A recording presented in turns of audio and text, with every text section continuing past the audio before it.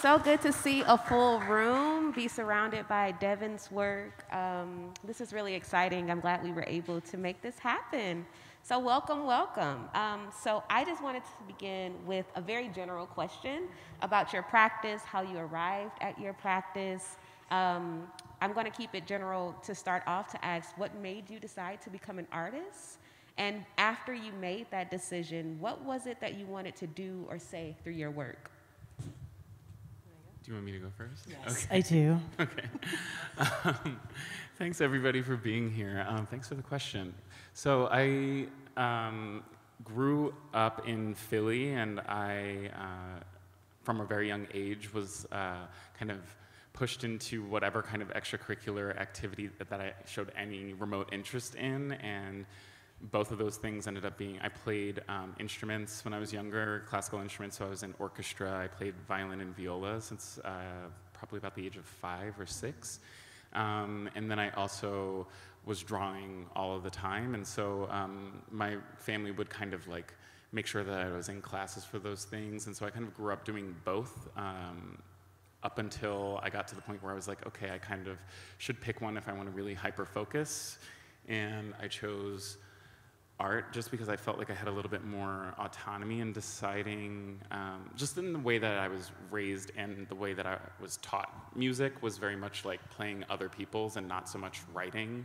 Um, I took some music theory, but it really didn't catch in the same way. And um, yeah, and so with art, I, um, I actually changed my major when I was in college from, I didn't even start as an art major or a music major. I started in uh, life sciences just because I was like, okay, this is something that I'm good at and I can understand how a career path or trajectory works. And then eventually I was like, I hate this. It's very hard. Um, and then I just changed my major to uh, drawing and painting at Penn State and then went from there and was like, I don't know how you can be an artist as a career, but I'll hopefully figure it out. Somebody can maybe tell me some pro tips. um, yeah, and then I, I, sort of did that route through education, um, higher education, and figuring out how to be an artist. I, I, know there's plenty of other people who take different routes to that, but that was where I learned um, how to be an artist in the way, at least, that I've arrived at it today. Um, thank you for having me, and thank you for being here. Um, I think for me, as a kid, I always utilized art as a way to tell stories and express myself. And then, um, and went to a, like a very artsy high school. Um, and then when I went to college right outside of high school, I didn't think art was viable. Like I didn't think I could actually like make a living. Um, and I also thought it weirdly was like selfish, which I don't think now. Um, but like I felt like I had to do something that was like like a, be a social worker or something. And and so um, I didn't take any art classes, and then um, I had a baby, and I like had a very different life where I was making art and um, like sort of like community at like events or something.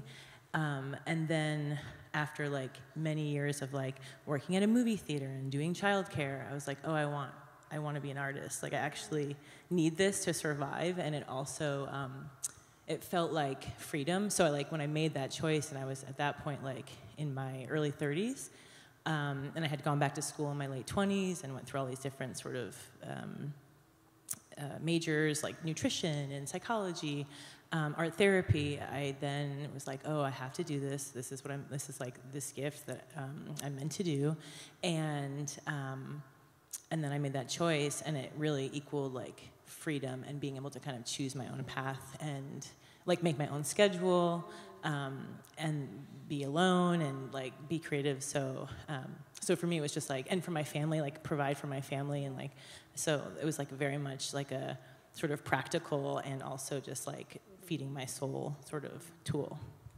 Thank you. Thank you both for that. Um, a similar material that you use in both of your works is glitter. Um, and I've been reading this manifesto called Glitterfesto by T.L. Cohen. So if you all want to check it out, it's available online, Glitterfesto.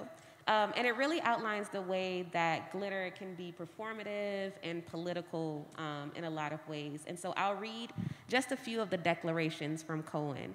Glitter, once you've been implicated, is impossible to shake.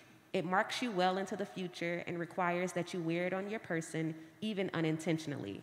It is a public declaration of affinity. Glitter based performance is not concerned with reality, except to transform it into something more fair and fabulous. Glitter gets everywhere, it cannot be contained. So I just wanted to hear you all talk a little bit more about glitter in your work, what you're trying to communicate to the viewer, and then also if you want to talk about some of the other mediums that you all are using in your practice.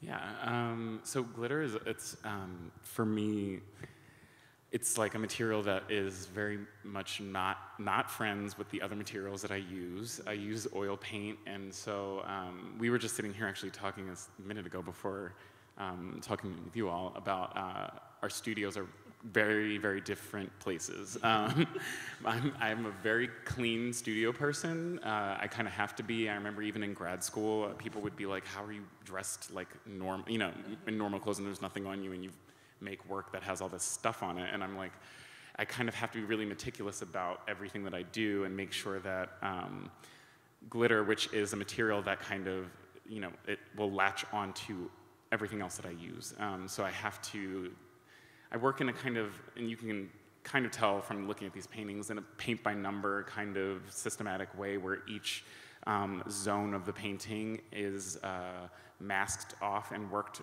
within um, section by section. So I'm working on usually something like, like for example, all five of those paintings right here were all made simultaneously. So they were all made at the exact same time.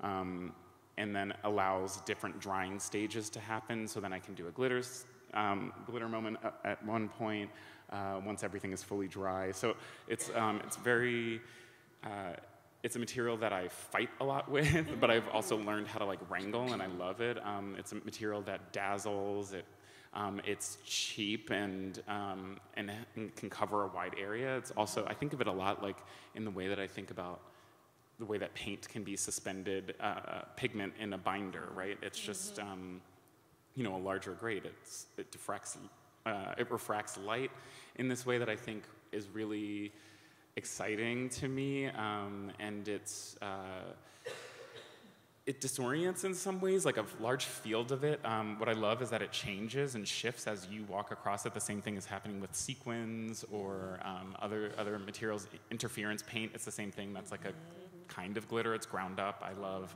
mica. Um, you know, natural glitters, glass that's ground up, diamond dust, which you might have seen maybe if you've seen a lot of like Warhol prints. Um, all of them interact with light in this way that uh, makes it demands that the work is to be viewed in person and experienced in person because mm. it um, it is affected by time. It, le- it, it, makes itself known. It leaves it, a residue everywhere it goes.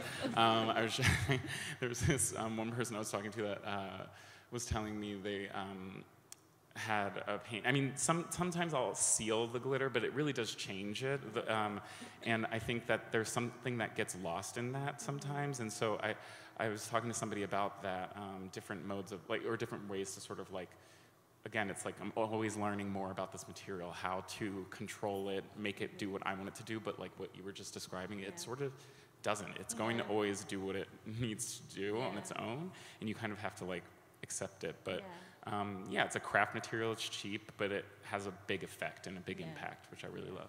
When it's shipped and installed, like, are there pe- like glitter pieces that are coming? okay. I was wondering, like, are we, are we going to see some little glitter, you know, filtered on yeah. the floor? I mean, it happens sometimes, so less and less. I mean, obviously, if you are moving them and like shaking them around or like bumping them, then it, yeah, it'll dust off. But I usually get off most of it before it goes anywhere. Mm-hmm. Um, and depending on what the painting is, I'll seal the glitter yeah. completely. Um, there are ways to seal it uh, that retains its um, the quality a little bit better, but for the most part, most mediums, when you seal over it, it kind of um, it just changes it. It can kind of alter the color. It can make it less uh, shimmery, or it doesn't reflect the light in the same way. It sort of subdues it because then there's this film over top of everything. So it's mm-hmm. um, yeah, kind of ruins it for me. Um, I love how similar our materials are, but like so different the work. Um, it's just like love hearing all the. I know all those things very intimately. Um, I hate glitter, and um, but I, I, it's a love-hate relationship because it's like definitely on me right now. It's on my partner right now. Like I know it's everywhere all the time. So my cat in this moment, um, and so I, it just gets everywhere, um, and that is it's a lot.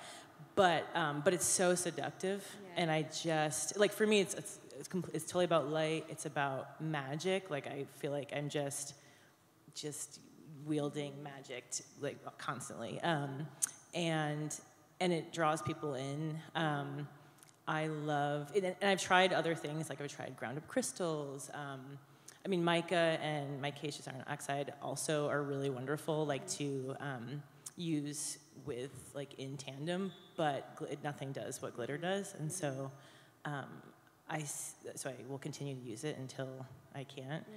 Um, and I also think of it as like it feels very rich. Like I, it is cheap or um, and it's just plastic, but it feels like so like luxe and abundant. And it just um, and I feel like at this point, like I really know how to use it and um, and just create.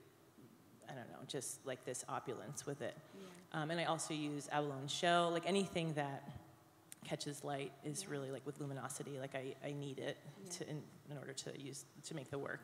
Um, yeah, I think. Yeah. Yeah, So- I like that you use the word seduction because I think that's another commonality across your works is that you draw people in, but there's so much they have to grapple with when they get there, right?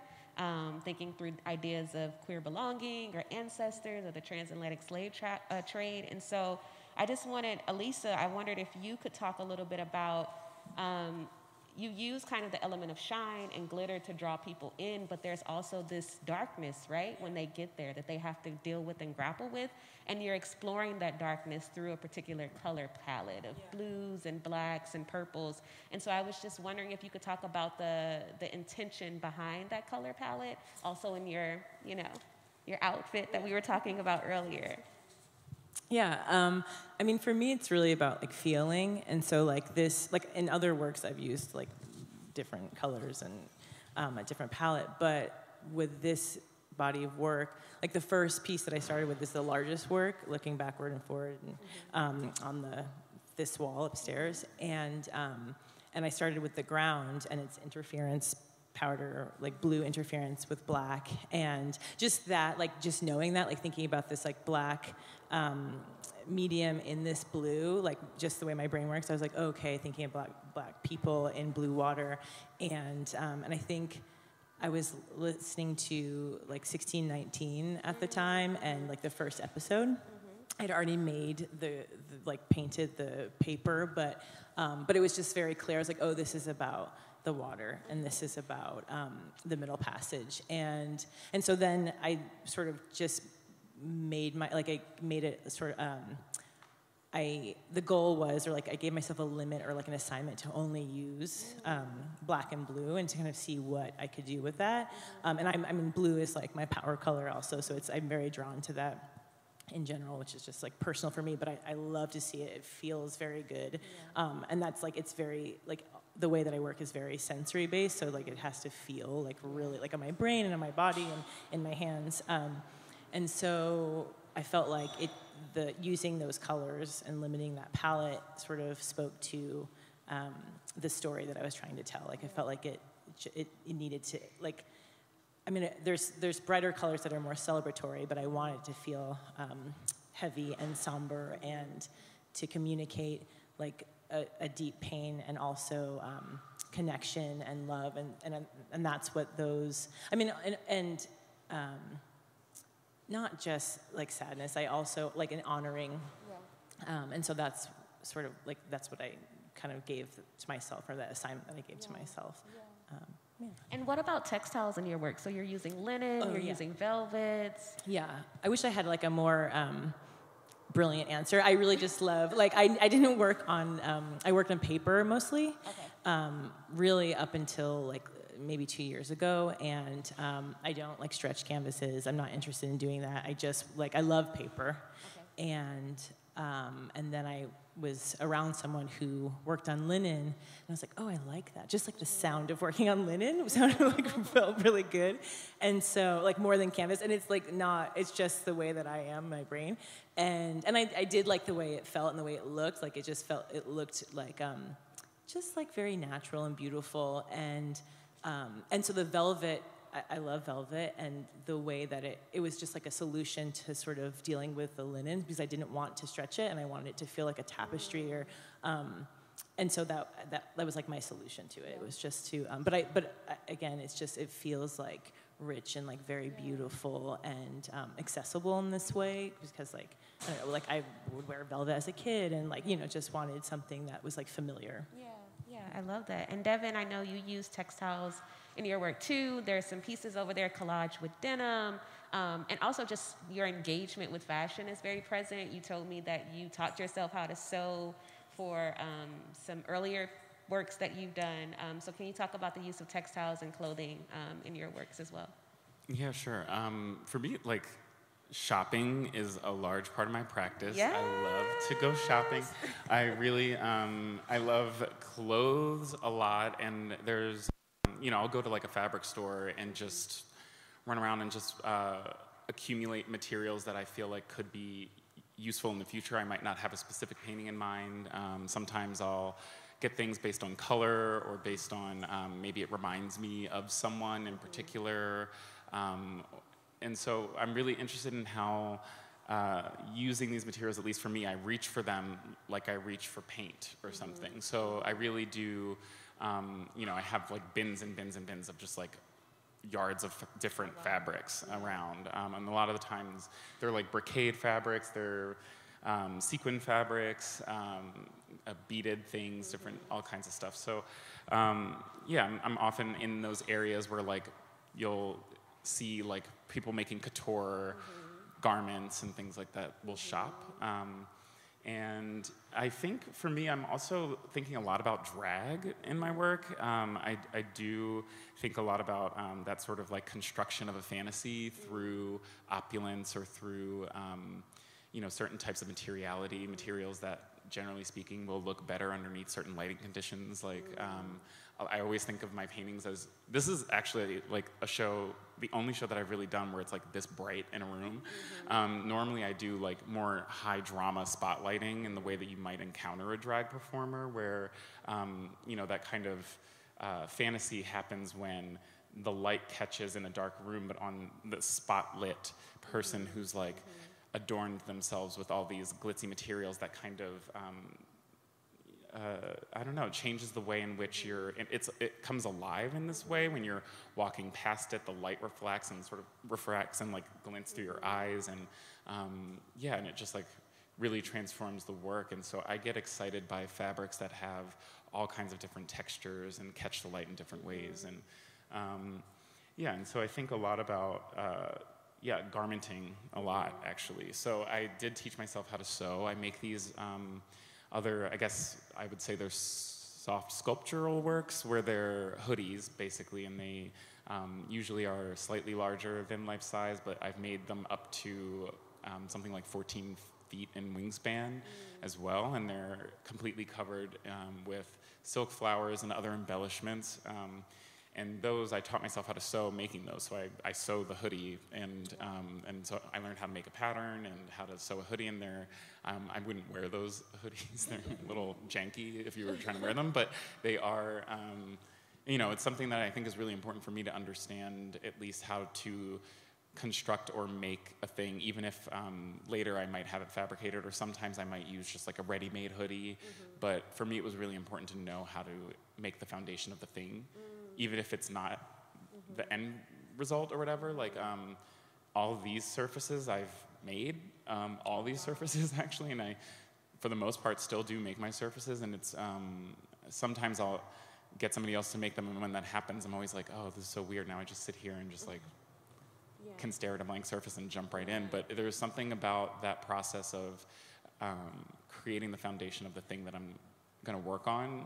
Uh, that allows me to sort of marinate and think um, and care for and think about how the foundation of what you're making, um, what kind of marks can you make on that surface, knowing how intimately you, you spent time prepping that surface. And so it really does determine, uh, you know, the way that uh, a mark can be made, the way that uh, how luminous the paint can feel. Um, and we were talking about glitter. Glitter refracts light in such a scattered way because each piece slightly faces a different direction. So um, the same thing can happen if your surface is too textured. So it's absorbing a lot of light and you're only actually refracting or emitting a little bit of light through the paint. Whereas if you make a super slick, almost like a whiteboard, smooth surface, your paint's going to glow in this way that's really exciting and you, it, it can feel like wet in a way. Mm-hmm. So yeah, there's um, different surface preparation underneath different areas of the painting yeah. as well. I love that. And in talking about fashion and textiles and shine and glitter and all those things, they lend themselves to beauty a lot, um, which I see you all exploring in your works. Um, and I think sometimes we forget that beauty can also be political from thinking of the ways that like the beauty industry has like upheld systemic racism, issues around colorism, um, but also the way that black people have used, you know, beauty from the afro to cornrows in these very political ways. Um, and so um, I'm a bit of a nerd, so I'm going to read another quote uh, from literature. This is from Saidiya Hartman's Venus in Two Acts, um, where she writes about beauty. And she says, quote, can beauty provide an antidote to dishonor and love a way to exhume buried cries and reanimate the dead? Um, so this is a very long way of me saying, you know, how is beauty actually functioning in your work? Maybe to some political effects or some personal and intimate effects as well. Um, I like when I started making this work. I started with um, the crowns, which um, are like one of the figures in that large painting that was referencing that they have a head that's made of a crown, or the large Afrocosmos. So they were like collaged um, images of hair, and um, but I, I, I imagine them as like beings, um, and and they are. And then there's other ones too, but um, and I always my goal was to sort of um, actually make like monsters to make them very scary and um, as sort of like like thinking about black hair and the way that um, white supremacy treats blackness and black hair. And so i wanted to kind of like turn around and be like okay i'm going to make like an even scary like you're you want to see this as like scary or distracting or exotic or offensive. And and instead they were really beautiful. Like of course right? And because of like the because our hair is beautiful and it's um and it was just yeah like just ended up being gorgeous and and that's just the way that i make work um like it, it is like i am attracted to beauty and um that's what like sort of that like feeds me mm-hmm. um and so I feel like I really love when someone sees it and they don't know what they're looking at, and they're like, kind of. And some people are scared, and some people are. Um, it's like a litmus test a little bit, you know, yeah. to know yeah. what people think. Um, but I again use it similarly to glitter, like as a way to like draw you in mm-hmm. and maybe sort of confuse you, and um, and to also like it's an again like an honoring or like a way to like affirm that. Um, blackness is inherently beautiful. Um, and so I, I want, I mean, I'm not intentionally doing that all the time, but I feel like it just ends up being this very, um, yeah, it's just very attractive um, imagery that draws you in. Um, and so that's, yeah, it's just like a way to, to honor that again yeah. and to affirm that. Yeah. I love that because, especially when you said the litmus test, because when I first encountered your work, I um, thought that they were like constellations in the sky, like they were stars. And I was just like, this is a very beautiful exploration of, of um, the themes and topics that you're exploring in, your work. So I do think that, yeah, people will come away with a different reading of it. Um, and that's really incredible. What about you, Devan? Beauty is a, a, a, thing that I think um, it can, it's interesting. I was thinking a lot about how beauty can, I mean, it draws people in, but it also can really piss people off, I think, a lot of the time. And um, it's like a, I think, I was looking, I was talking to a friend of mine about the um, etymology of the word gorgeous, and it really gets into some dark sided stuff if you really go back into it. And, um, and it's, it's something that's actually almost repulsive. uh, it's something that really draws you in, but also if you look back into the etymology of the word, it's something like dealing with like regurgitation. Um, and so it's this, uh, it's this thing that I think has this push and pull, which I think is really exciting to me. Um, I, I don't know. I, I think the, the way that I think about beauty, I guess, in, in my work is inherent in the materiality or the colors. I mean, I think about um, certain types of harmony that's happening in the work. Um, I'm using colors that I think a lot of people associate often, at least, you know, people are always like, oh, it's so bright and happy and all these other things, but then um, sitting with some of the works, especially some of the sculptural work, I think people are hit a little bit harder um, by that, um, being drawn in by something that they feel like was um, beautiful or drew them in because it made them feel good, and then they're having to then be confronted with uh, something that maybe is a little bit darker or more difficult uh, subject matter. Um, and, and, you know, dealing and wrangling with emotions of sadness or uh, confronted with having to think about the realities of the world today. Um, but, the, but, for a moment, they were distracted by pretty colors or pretty materials. And I think, um, you know, sometimes that can feel like trickery, and I think that's why I think beauty or gorgeousness can enrage or incite um, sadness or, or, things like that in a way where it feels like deception. Yeah. Um, and I'm really interested in those types of that that switch that occurs. I think. Um, yeah, and uh, yeah, and I think beauty also is something that can be celebratory and exciting all the same. So I think it's just a complicated, uh, it's a complicated thing to, to deal with it and to to use it as a tool, especially when dealing with heavier subject matter. I mean, you're dealing with the transatlantic slave trade, but there's there are beautiful images of something. So I, I think that there's, um, I, I, think beauty can be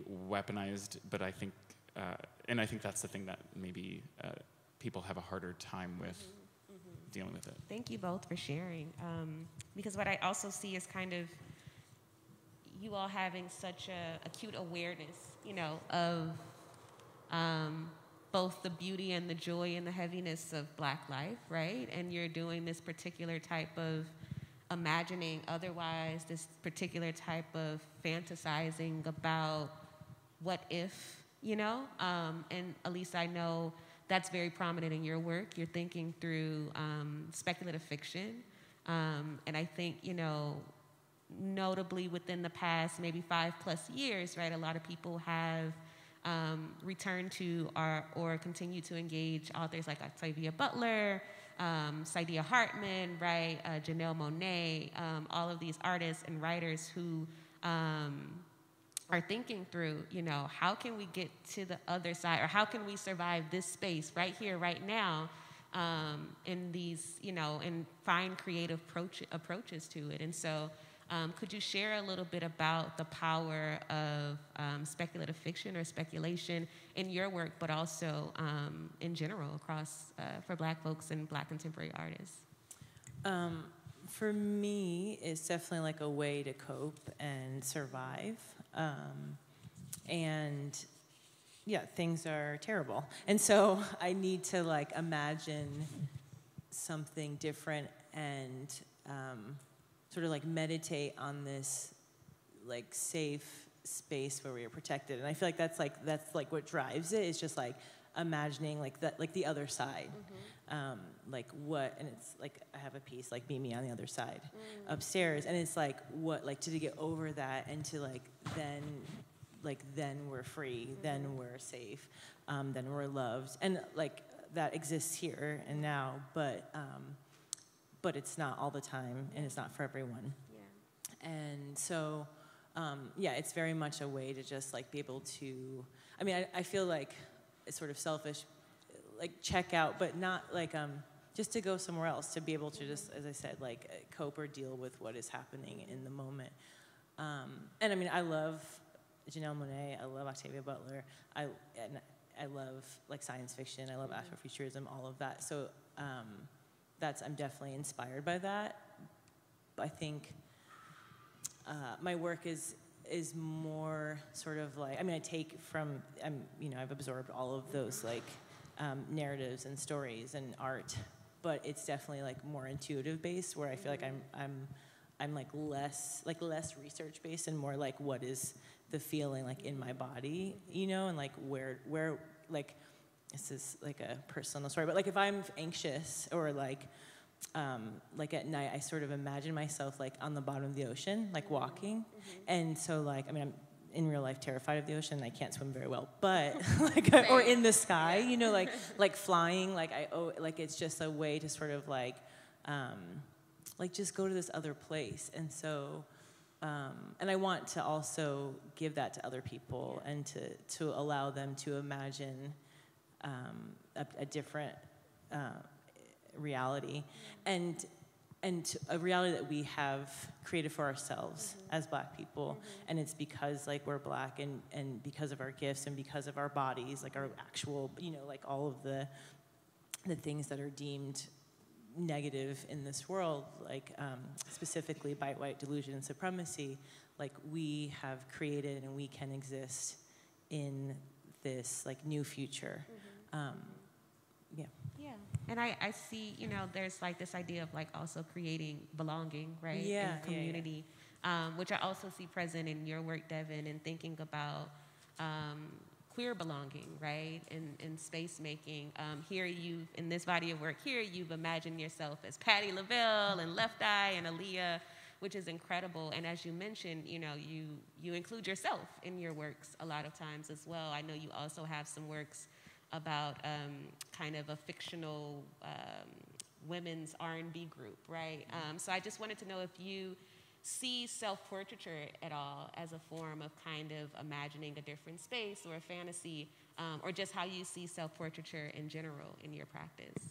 Yeah, um, I love uh, speculative fiction as well. Like I read a lot of it, um, and I also think that. Uh, so I don't know. There's something that about self-portraiture for me is like this thing where I'm not thinking so much of like, like this is a this is technically me, but I don't necessarily. It doesn't need to be me necessarily. I think that it's um, it's it's like I'm using my own body as this kind of like archetypal character that then kind of explores a multitude of things. It could be anybody. If I had another person that just could be on hand at any time to just mm-hmm. pose for me, I would do that too. But um, yeah, I do think that part of it, I, you know, I say that, but then I also do think a lot about, um, you know, we talked a lot about beauty before, and I think about how my own journey with like loving myself and how I, my physical appearance, and, um, you know, I talk a lot with other people about their, you know, being queer and black, and, um, you know, I'm like, I'm skinny and tall, taller, and like kind of like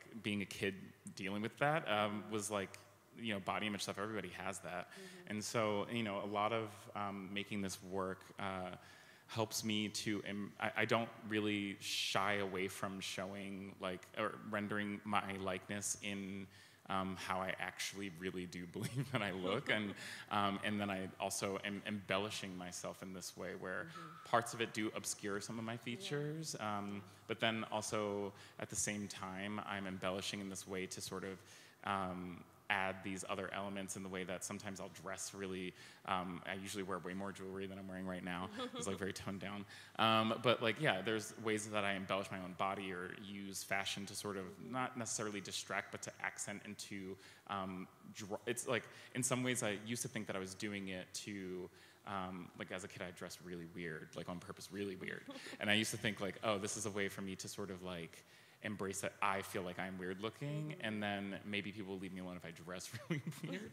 but what really ended up happening was people were just like looking at me way more, yeah. and then um, so, and then you know now I feel like people look at me a, a lot. I mean I have you know big hair, and it gets this is like day one of wash day, so it's actually pretty small right now. So, you know, I'm being stared at a lot, and, and I wear like shiny things, and I wear bright colors or like a lot loud patterns, and um, and you know, in a way, it's uh, simultaneously, it's like it feels like an armor, but it also feels like something that's drawing people in. Mm-hmm. So it's doing that duality that I'm talking about a lot, and it happens a lot in my paintings too. It's this thing where it is me, but it's not me. Mm-hmm. Um, I get to imagine myself in so many different um, ways. Um, I love um, fiction and the limitless possibilities of it. And so for me, these paintings, it's um, it's me in very light drag, I guess you could say, in some ways. Like I'm um, really just popping different wigs on top of my head essentially in these paintings. But um, yeah, it's it's embracing a femininity in me that um, was very much present and still very much is in this way that I, I fantasize about um, being um, effeminate in this way, uh, where I can just um, you know, make a change like that, put on a wig, um, put on a high gloss lip, and really just feel empowered and excited by that, and wear a ton of jewelry, and and um, yeah, so it's a way for me to dip into that type of fictional version of myself, and maybe sometimes I'll be able to do that Yeah. um, in real life if I want to. But uh, for now, it's like in the painting, and it feels good there too. So. Um, yeah, sometimes I think a lot about uh, the sort of like secondary effect of making a lot of self portraiture is having to wrangle with the idea of, I think this painting looks really good and looks beautiful, but also that's me. And like that's like a really like that's like a really complex thing um, to like love yourself is like kind of crazy. So yeah, it's just like a yeah, like I don't know. It's a it's a learning process of loving myself, and that feels like Yeah. really complicated and really good, and also sometimes it feels really strange and disorienting and um, out of body in some ways. But yeah, that's Thank you so much for sharing so much about yourself. I really appreciate it. Um, and while we're on the topic of self, uh, my final question for you all before we open it to audience Q&A. Um, what's next for you all? What's something that you haven't explored in your work yet that you're excited to explore? Devan knows this, but I'm trying to get him to do like a fashion collaboration or something so we can get some clothes. But um, yeah, what's what's next for you all? What are you What are you excited to explore? I'm excited to explore. I think like a lot of my work is thought about like off planet or like in the water. So like um, thinking about like on Earth, like what, like a, a kind of different leg of the story, um, and looking again like back in history, which wasn't like my intention initially, but I like the idea of. Um, looking back and and reimagining um, and reconfiguring different stories of survival. And so um, I'm yeah, I have something brewing that has to do speci- specifically like beings on Earth, which yeah, I haven't really done. Oh wow, Yeah.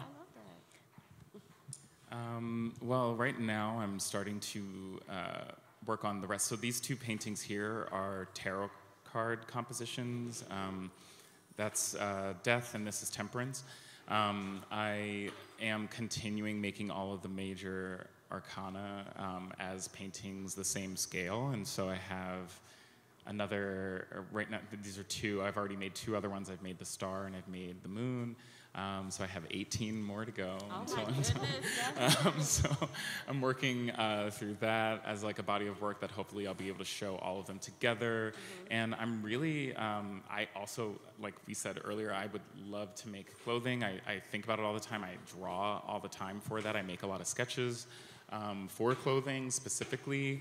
And also, I'm making some pretty exciting big sculptures, which is going to be really cool. But um, yeah, I, you know, um, like my first project that I ever did that was that was working with a fabricator really was um, in in a, like a substantial amount was this project in DC at the Smithsonian, and so now it's a little less scary that Yeah. process, um, and so now I'm working on some other types of sculptures that manifest in like um, that are more figurative, and yeah, I'm excited for that. Yeah, I'm excited for both of you. Thank you so much for being in conversation with me. Um, Thank you.